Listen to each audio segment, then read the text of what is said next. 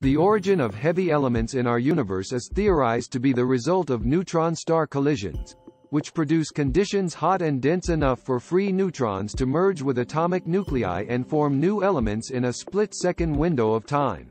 Testing this theory and answering other astrophysical questions requires predictions for a vast range of masses of atomic nuclei. Los Alamos National Laboratory scientists are front and center in using machine learning algorithms to successfully model the atomic masses of the entire nuclide chart. The combination of all possible protons and neutrons that defines elements and their isotopes. Many thousands of atomic nuclei that have yet to be measured may exist in nature. A theoretical physicist and co-author on several recent papers detailing atomic masses research. Machine learning algorithms are very powerful, as they can find complex correlations in data, a result that theoretical nuclear physics models struggle to efficiently produce. These correlations can provide information to scientists about missing physics, and can in turn be used to strengthen modern nuclear models of atomic masses.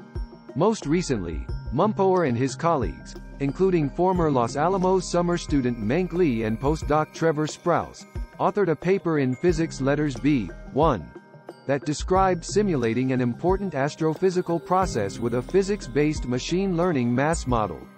The R process, or Rapid Neutron Capture Process, is the astrophysical process that occurs in extreme environments, like those produced by neutron star collisions. Heavy elements may result from this nucleosynthesis. In fact, half of the heavy isotopes up to bismuth and all of thorium and uranium in the universe may have been created by the R process. Modeling the R process requires theoretical predictions of atomic masses currently beyond experimental reach. The team's physics-informed machine learning approach trains a model based on random selection from the Atomic Mass Evaluation, a large database of masses. Next the researchers use these predicted masses to simulate the R process. The model allowed the team to simulate R process nucleosynthesis with machine-learned mass predictions for the first time, a significant feat, as machine learning predictions generally break down when extrapolating. We've shown that machine learning atomic masses can open the door to predictions beyond where we have experimental data. The critical piece is that we tell the model to obey the laws of physics. By doing so, we enable physics-based extrapolations. Our results are on par with or outperform contemporary theoretical models and can be immediately updated when new data is available. Investigating nuclear structures.